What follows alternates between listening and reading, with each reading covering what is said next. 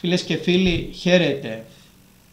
Α, κοντά μας σήμερα στα Βρυλισιώτικα Νέα ο συμπολίτης μας, ο συγγραφέας ο Κώστας ο Παπασπηλίου, του οποίου το καινούριο βιβλίο «Οι μάστορες ε, του στίχου» κυκλοφόρησε ήδη στα βιβλιοπολία ε, και παρουσιάζεται την Κυριακή 15 Φεβρουαρίου στις 7 το απόγευμα στο Πνευματικό Κέντρο του Δήμου Βρυλισίων από τον Αθλητικό και Πολιτιστικό Οργανισμό του Δήμου μας. Ο φίλος μας ο Κώστας ο Παπασπηλίου, στον οποίο θέλω να ευχηθώ μεγάλη καλή επιτυχία σε ένα από τα πάρα πολλά βιβλία, το έχω χάσει πια και τον αριθμό 11, 12, το 11, το είναι το 11. και άλλα τρία που είναι υπό έκδοση. Λοιπόν, να είσαι καλά να γράφεις, πολυγραφότατος. Ε, το βιβλίο αυτό είπαμε που θα παρουσιαστεί ε, στην, ε, στο πνευματικό κέντρο του Δήμου μας α, αναφέρεται σε πολύ μεγάλους α, Έλληνες τυχουργούς στους μάστορες του στίχου. Ακριβώς. Ποιοι είναι αυτοί Στα 200 χρόνια που η πατρίδα μας υφίσταται ως ανεξάρτητο κράτος, το τραγούδι έπαιξε πρωταρχική σημασία στη ζωή του Έλληνα. Βεβαίως παρουσιάστηκαν πολύ σημαντικοί συγγραφείς. Ο πρώτος πολύ μεγάλος συγγραφέας ξεκίνησε το 1906 και ήταν ο Τίμος Αμαραϊτίνης. Η ζωή του ήταν συνυφασμένη με την Ελλάδα και την Ευρώπη, πολύ πίκυλτη, πολύ σπουδαία, μέσα από τη βιογραφία και αυτού μέσα στο βιβλίο «Οι Μάστερες του Στίχου» περνάνε πολύ ενδιαφέροντα πράγματα και ο τρόπος που εμπνεύστηκε σημαντικά στοιχεία. Στη συνέχεια υπήρξαν σημαντικοί στοιχουργοί, ο Σακελάριος, ο Τραϊφόρος, ο Γκάτσος, ο Παπαδόπουλος, μέχρι την Νικολακοπούλου που περίπου κλείνει και ο 20ος αιώνας, 200 ολόκληρα χρόνια, οι 15 μεγάλοι στιχουργοί έκαναν τις τομές και έδωσαν το φως και σε πολλούς άλλους στιχουργούς και μεγάλης ευέλειας και μικρότερης ευέλειας να αποδώσουν καρπούς πολύ σημαντικούς. Ε, πώς θα είναι η εκδήλωση της Κυριακής; Όπως γνωρίζεις, σε όλη την Ελλάδα κάνω περίπου κάθε μήνα και μία ή δύο εκδηλώσεις δεν είναι οι στήρες οι εκδηλώσεις των παρουσιάσεων, αλλά θα είναι μια μορφή παράστασης με μουσική, με τραγούδια, με αναμνήσεις, με σκετσάκια. Θα έχουμε σπουδαίους τραγουδιστές από την νεότερη γενιά και την παλιότερη γενιά ο Βασίλης ο Πάτσιος και ο Λάκης ο Χαλκιάς. Θα ξετυλίξω αναμνήσει ο Τάκης ο Βιουκλάκης και ο Δημήτρης Ιατρόπουλος που είναι ένας από τους 15 μεγάλους Έλληνες τυχουργούς και ποιητές και θα έχουμε πολλές άλλες μικρότερες εκπλήξεις. Τίμος Μωραϊτίνης, Αλέκος Σακελάριος, Μίμης Τραϊφόρος, Νίκος Γκάτσος, Ευτυχία Παπαγιανοπούλου, Κώστας Βίρβος, Πυθαγόρας, Δημήτρης Χριστοδούλου, Λευτέρης Παπαδόπουλος, Δημήτρης Ιατρόπουλος, Άκος Δασκαλόπουλος, Μάνος Ελευθερίου, Σώτη Ατσότου, Μανώλης Ρασούλης και Λίνα Νικολακοπούλου. Δεν είναι τεράστια μεγέθη του στίχου όλοι τους. Βεβαίως. Όταν πριν από τέσσερα χρόνια, πέντε χρόνια περίπου, το συζητούσαμε το Μίμη τον Πλέσα, κάναμε μια πρώτη επιλογή. Δεν είναι τόσο εύκολο να επιλέξεις τους 15 ξεχωριστούς όταν οι Έλληνες είναι ποιητικός λαός και πολύ περισσότερο λαός που αγαπάει το τραγούδι. Ε, τελικά, μετά από, από επισταμένη μπορούμε να πούμε κριτική μελέτη, καταλήξαμε σε 15 κορυφαίους που ο καθένας από μόνος του είναι μια ολόκληρη βιογραφία. Όμως στο βιβλίο κοιτάξαμε να περάσουν σημαντικές στιγμές της ζωής τους, σημαντικές ατάκες τους και ο τρόπος που εμπνευστήκανε τα πιο σημαντικά τους κομμάτια. Ο Γιώργος ο Χατζινάσιος, ο γνωστός μουσικοσυνθέτης, ναι. προλογίζει το βιβλίο σου. Ναι, ο Γιώργος Χατζινάσιος είναι από τους μεγαλύτερους συνθέτες στην Ευρώπη. Συνεργάστηκε με κορυφαίους στιχουργούς, αλλά το πιο σημαντικό είναι ότι στα 40 χρόνια της μεγάλης του δημιουργίας τον πλησίασαν και πολλοί άλλοι πρωτόπυροι στιχουργοί, άρα είχε μια πολύ με εμπεριστατωμένη και πολύ μεγάλη εμπειρία και έκανε ότι θα ήταν ο πιο κατάλληλος να προλογίσει αυτό το βιβλίο. Και πράγματι ο πρόλογος του τα λέει όλα. Παρότι δεν είναι μεγάλος, ούκα είναι το πολλό το F, τα λέει όλα μέσα από αυτό το μικρό σχετικά κείμενο. Να διαβάσω λίγο από τον προλογό του. Ε, Βεβαίω, νομίζω αξίζει ο κόπος. Στιχουργιά η μόνη τέχνη που δεν σπουδάζεται και όμως μεγαλουργεί. Στις τέσσερις δεκαετίες που γράφω τραγούδια, αναφέρει ο Γιώργος Χατζινάσιος, δεκάδες δόκιμοι στιχουργοί που με πλησίασαν όταν απέριπτα τους στίχους τους ως ανεπαρκείς με ρωτούσαν με αγωνία πώς μπορούν να βελτιώσουν την απόδοσή τους. Σκεφτόμουν να τους απαντήσω ότι στο στίχο το θέμα είναι ένα τόχης ή δεν τόχης. Όμως ποτέ δεν το έκανα, γνωρίζοντας ότι η καλλιτεχνική αφέλεια είναι τρόπο ζωής και ότι η αλήθεια τους σκοτώνει. Μου ήταν αρκετό να τους παραπέμψω στα βιβλία κάποιων που αναφέρονται στην εισαγωγή με την παρότριση να εισβάλλουν, πώς αλλιώς να το εκφράσω, στην εσωτερική σκέψη του πετυχημένου δημιουργού. Ε, στο δικό σου τον πρόλογο Κώστα αναφέρεις ότι οι Έλληνες είναι ποιητικός λαός, διέπρεψαν στον έμετρο λόγω από τα προϊστορικά χρόνια, ξεκινώντας με τα θρησκευτικά τραγούδια, με τα πένθυμα και του Ημένου, συνέχισαν με τα επικά, τα λυρικά και ολοκλήρωσαν με τη δραματική ποίηση. Τη Βυζαντινή περίοδο άρχισαν να διαμορφώνονται τα πρώτα παραδοσιακά τραγούδια ακριτικά και παραλογές με στοιχεία από την αρχαία παράδοση. Κατά την τουρκοκρατία ο άγνωστος τραγουδοποιός συνέχισε τη μακρά παράδοση με άσματα που κάλυψαν όλο το ιστορικό και κοινωνικό φάσμα του ελληνισμού. Και μετά α, αναφέρεσε στην ίδρυση του νέου ελληνικού κράτους με την ίδρυση του οποίου διαπιστώθηκε η ανάγκη για ένα νέο τραγούδι και πας πολύ πολύ πίσω στους πρώτους τυχουργούς. Ναι, ναι. Στον Παράσκο, Καλαμογδάρτη και Καρασούτσος. Και Καρασούτσος, ναι. Αυτοί οι πρώτοι στιχουργοί έγραφαν στίχους πάνω σε επιτυχημένες μελωδίες γερμανικές και ιταλικές αργότερα. Ε, έτσι ξεκίνησε. Το ελληνικό τραγούδι βέβαια ξεκίνησε όταν ενώθηκαν τα Επτάνησα με την Ελλάδα το 1864 και τότε μετήκησαν στην Αθήνα σπουδαίοι επτανήσιοι συνθέτες όπως ο Ξύνδας, ο Λαβράγκας ο, και πολλοί άλλοι Ε, αυτοί λοιπόν, εμπνεόμενοι και από το Αττικό τοπίο, συγκέρασαν τα ντόπια, περισσότερο μπορούμε να πούμε οικαστικά στοιχεία με το τραγούδι της Επτανήσου, το αστικό αυτό όμορφο λαϊκό και από το 1890 έχουμε τα πρώτα αθηναϊκά τραγούδια. Ε, ο πρώτος όμως σημαντικός Αθηναίος στιχουργός ήταν ο Τίμος Ομοραϊτίνη. Ποιος δεν έχει τραγουδήσει, δεν έχει ακούσει τις πλάκα σε νυχφοριέ, εγώ το πίνω και μεθώ.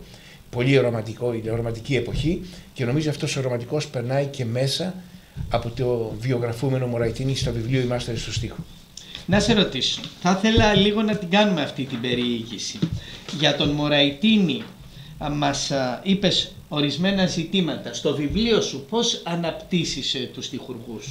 Καταρχάς, πολύ ωραία ερώτησή σου, γιατί συνήθως τα βιβλία που βγαίνανε, γιατί τώρα δεν βγαίνουν πολλά βιβλία, βγαίνουν ελάχιστα, ε, είναι όπως έρθει και όπως πάει. Σε εμάς εδώ πέρα, επειδή είναι και σημαντική εκδοτική οίκη, γίνεται μεγάλη προεργασία. Ξεκινάμε με μια εικόνα που είναι η έμπνευση ενός σημαντικού τραγουδιού και μετά περνάει όλη η πορεία από τη γέννηση του στιχουργού και τα βιώματα που ήταν πιο έντονα με τι τρόπο γίνανε στίχοι που τραγουδήθηκαν και τραγουδιούνται ακόμα από όλη την Ελλάδα. Αυτοί οι στιχουργοί με τα τραγούδια τους ακόμα και σήμερα είναι πολύ επίκαιροι. Για τον Αλέκο Σακελάριο, ο οποίος είναι εξαιρετικά αγαπητός στον ελληνικό ναι. λαό, ε, κάνεις κάποιες ε, Ξεκίνησε ανα, να γράφει το 1932. Ε. Θα ξανάρθει στο πρώτο του τραγούδι που μελοποίησε ο Κώστας Σογιαννίδης αλλά ο Σακελάριος δεν ήταν μόνο ένας σπουδαίος λυρικός στιχουργός, ήταν και ο πρώτος στην ουσία σατυρικός στιχουργός. Ε, και βέβαια έχουμε και τα τραγούδια που έγραψε για τον κινηματογράφο, που ενώ φαίνονται αθώα και αφελή, άμα τα προσέξεις, έχουν νοσταλγία και πολύ μεγαλύτερο βάθος. Ε, Αναφέρεσαι και στη ζωή των Βέβαια, στιχουργών. Περνάει η ζωή τους γιατί έχει πολύ μεγάλο ενδιαφέρον. Για να γίνεις μεγάλος καλλιτέχνης και ιδιαίτερα στιχουργός ή ποιητή, πρέπει να έχεις στη ζωή σου βιώσει πολλές εικόνες, πολλά γεγονότα. Και όλα αυτά τα γεγονότα και εικόνες δημιουργούν ένα λαϊκό ανάγνωσμα γιατί έχουν πολύ μεγάλο ενδιαφέρον. Δεν είναι μόνο μέσα από τη ζωή τους που περνάνε γεγονότα, αλλά είναι και η Ελλάδα μας, η Αθήνα μας, όπως μεταξελίχθηκε αυτά τα 200 χρόνια. Γι' αυτό υπάρχει μια ιδιαίτερη μαγεία σε αυτούς τους στιχουργούς. Και όποιος διαβάσει το βιβλίο πιστεύω ότι γοητεύεται. Αυτό μου έχουν πει πάρα πολλοί και σημαίνοντες και πιο άγνωστοι σημαντικοί άνθρωποι. να σε ρωτήσω, το βιβλίο, τα βιβλία που συνηθίζεις να γράφεις έχουν το χαρακτήρα λαϊκών αναγνωσμάτων. Συνεχίζει η φόρμα αυτή να επικράτει και στο ε, καινούργιο σου βιβλίο; Βεβαίως, είναι κάτι που δυστυχώς δεν το κάνουν. Αλλά εγώ πιστεύω ότι ένα βιβλίο πρέπει να περνάει μεγάλα μηνύματα και ενδιαφέροντα να καταγράφει γεγονότα μέσα από μια απλότητα, μέσα από εικόνες, από ατμόσφαιρα, από διάλογο, από suspense. Μόνο τότε έχει ενδιαφέρον. Τότε και οι νεότεροι και οι παλιότεροι μπορούν να απολαύσουν κάτι. Εγώ πιστεύω γενικότερα, Γιώργο, ότι η μελέτη πρέπει να είναι απόλαυση. Και ένα βιβλίο πρέπει να δίνει χαρά και όχι άγχος όπως συνηθίσαμε πια να το βιώνουμε.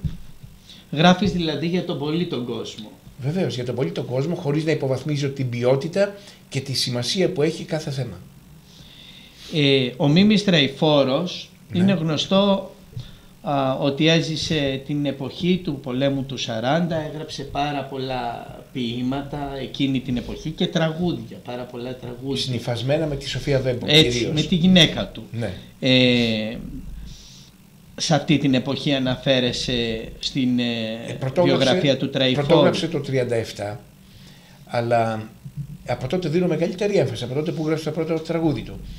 Καθρεφτίζει ο Τραϊφόρος όχι μόνο την προπολεμική περίοδο, αλλά και την πολεμική περίοδο και τη μεταπολεμική.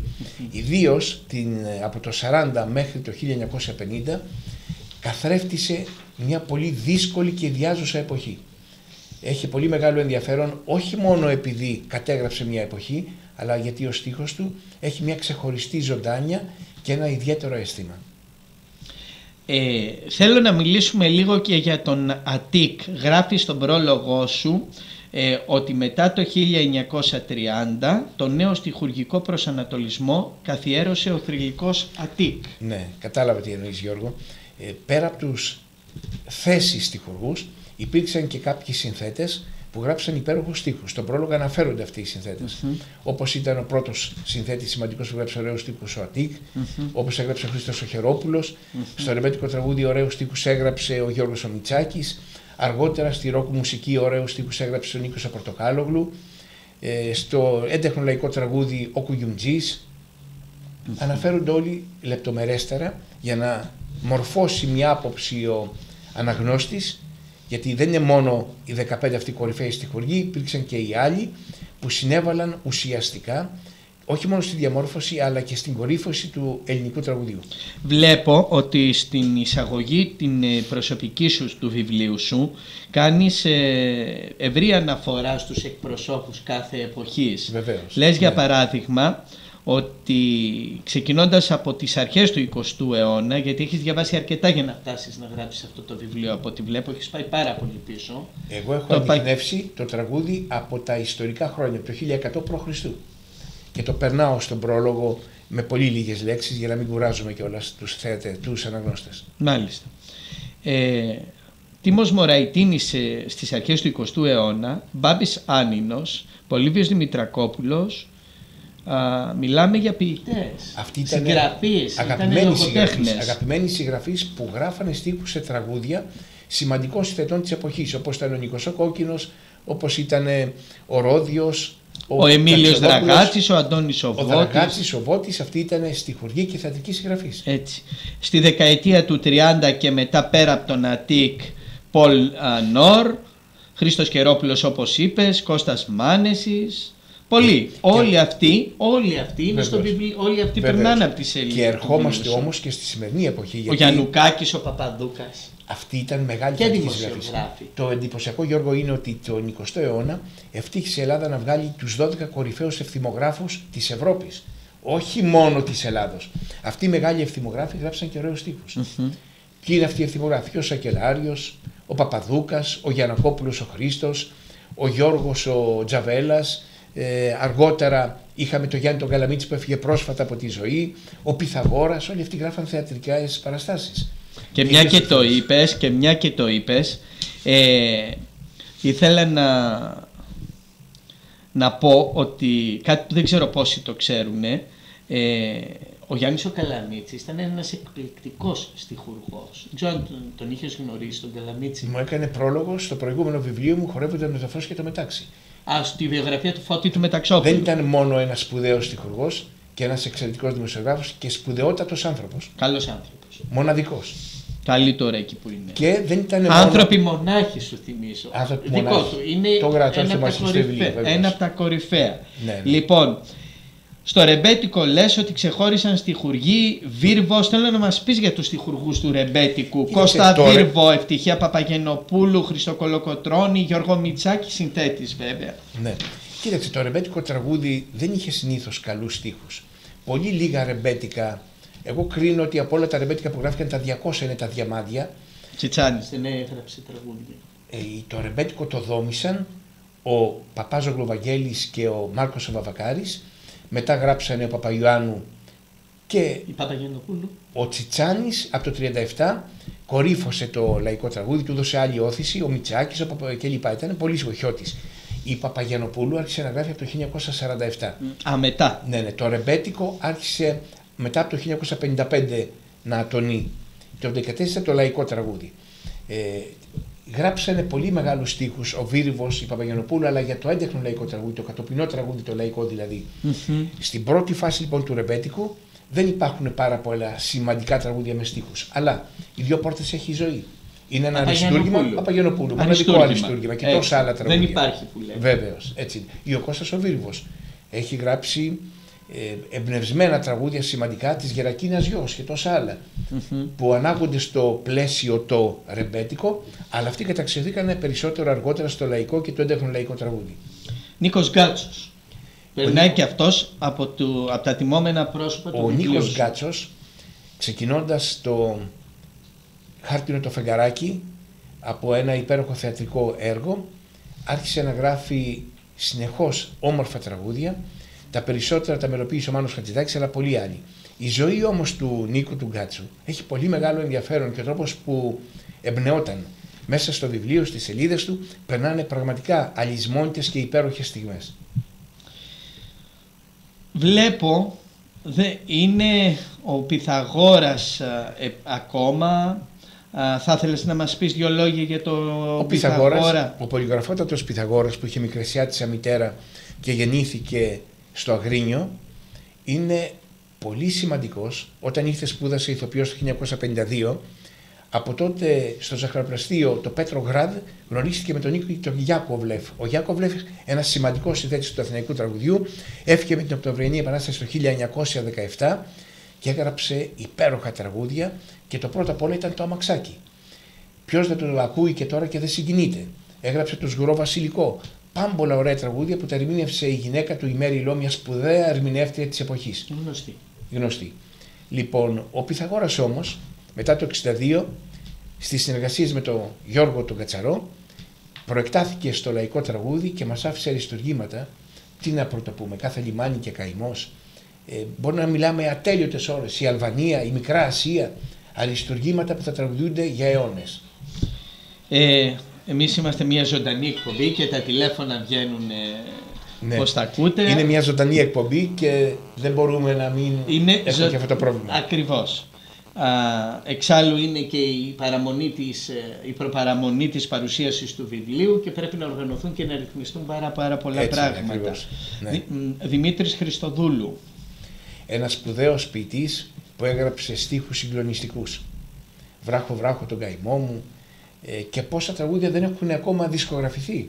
Γιατί ε, Ανέκδοτα. υπάρχουν και ανέκδοτα αριστουργηματικά. Εγώ γράφω και ανέκδοτα, ιδίως αυτά που έκανε με τον Πέτρο το Βαγιόπουλο, που είναι υψίστης μπορώ να πω ε, σημασίας τραγούδια.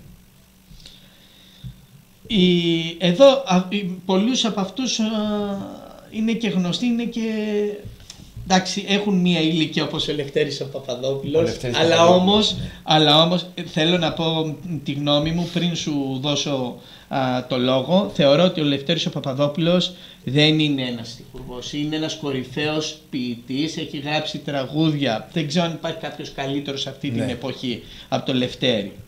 Ε, ο Λευτέρης Παπαδόπουλος είναι μια κορυφαία μορφή. Έχει γράψει πάμπολα και μοναδικά τραγούδια και κύκλους τραγουδιών. Ε, δεν πρέπει να παραβλέπουμε όμως ότι και οι άλλοι στιχουργοί έχουν κάνει το μεγαλόπνο έργο τους που είναι διαφορετικό. Ε, και δεν θα ήθελα, Προφανώς. δεν θα ήθελα να, να βάλω κάποιον από όλους αυτούς γιατί όλους αυτού. Εμένα μου αρέσει πάρα ναι, πολύ, γι' αυτό το τους έχω ζήσει τόσο πολύ. Ναι, όπως και με τον Παπαδόπουλο τελευταία, έχουμε, με έχει καλέσει και σε εκπομπές του, έχουμε ζήσει, έχω ζήσει και σε παρουσιάσεις του και σε πολλά άλλα πράγματα ωραίες στιγμές. Είναι μια ειδική περίπτωση σπάνια στο παγκόσμιο στοιχουργικό στερέωμα. Ε, ναι. Άκος Δασκαλόπουλος. Ο Άκος Δασκαλόπουλος είναι ο κορυφαίος στιχουργός του νέου κύματος.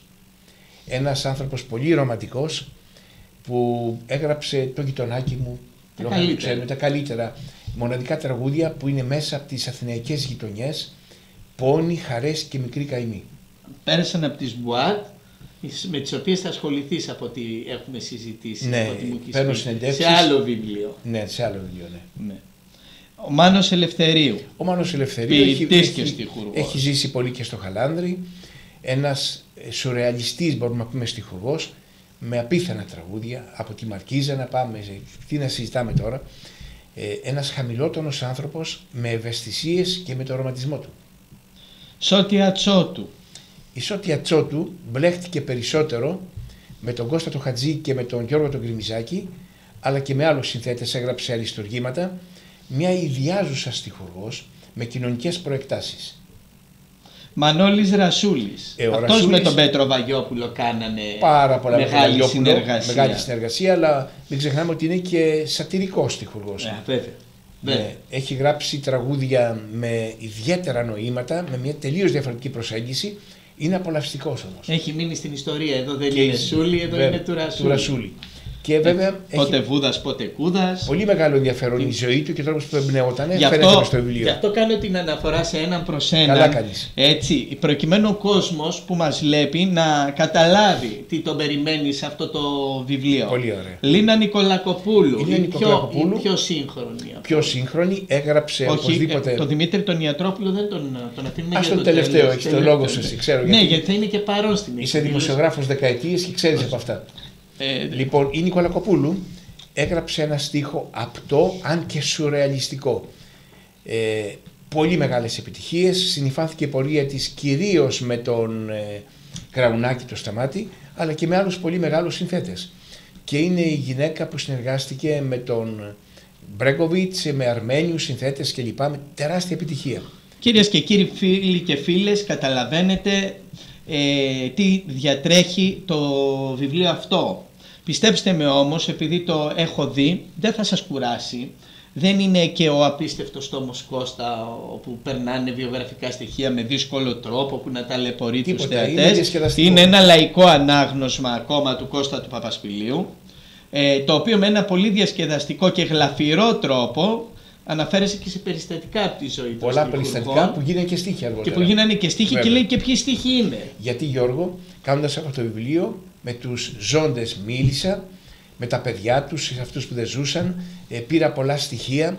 Θέλω να σε ρωτήσω γιατί ε, είναι περίεργο πώς γράφονται πολλά τέτοια βιβλία πια στην εποχή μας. Το βιβλίο σου δεν είναι από κύμα μιας φαντασίας δικής σου.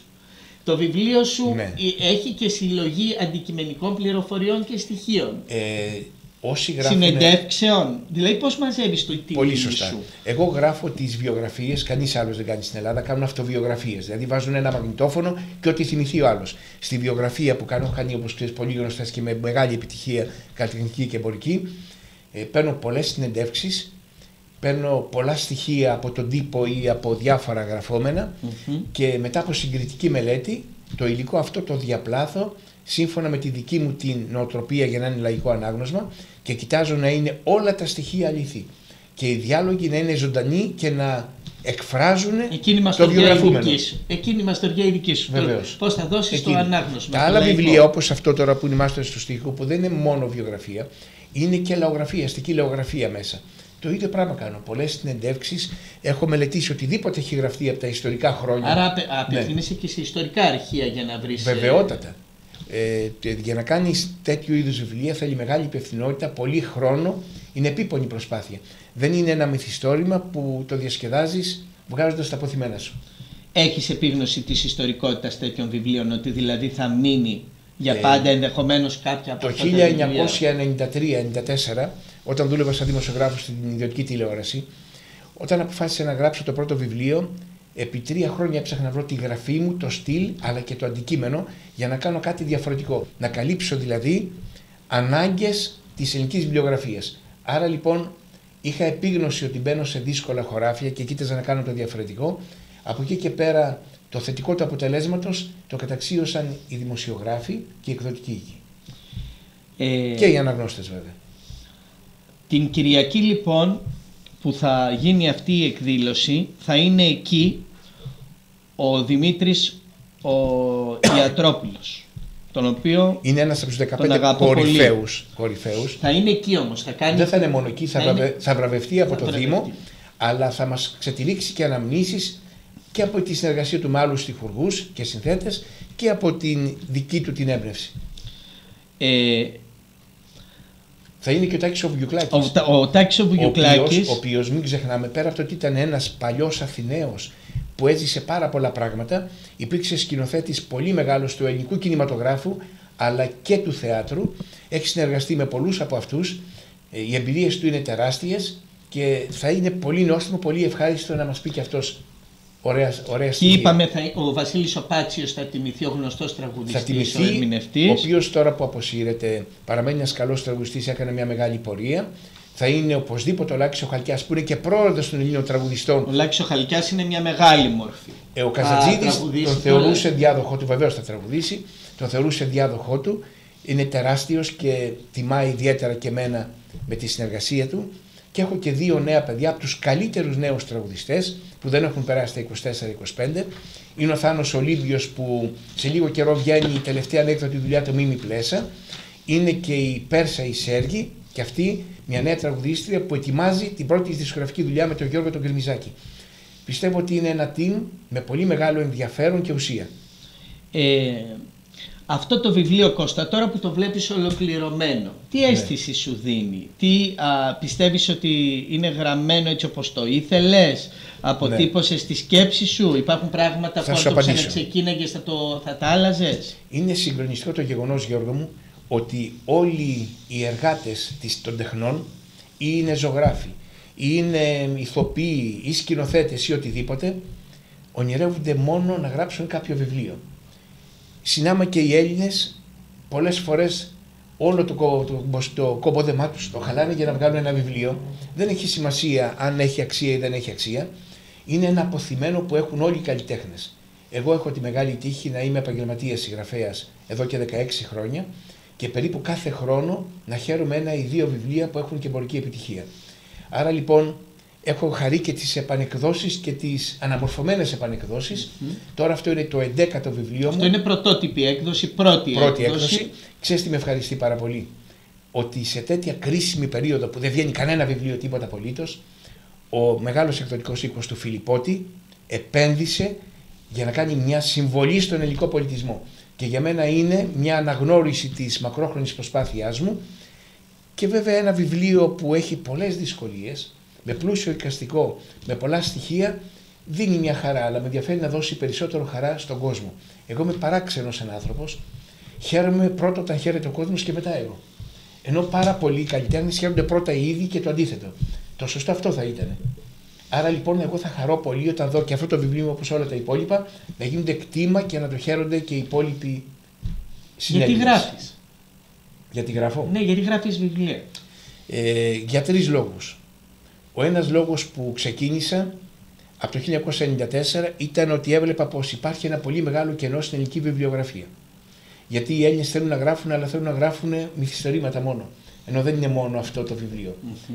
Ένας δεύτερος λόγος είναι ότι ε, μετά από το πρώτο βιβλίο είχα πολύ μεγάλη εμπορική επιτυχία και καλλιτεχνική και αυτό με εξητάρισε. Την του Γέλου. Την Και αυτό με εξητάρισε πάρα πολύ.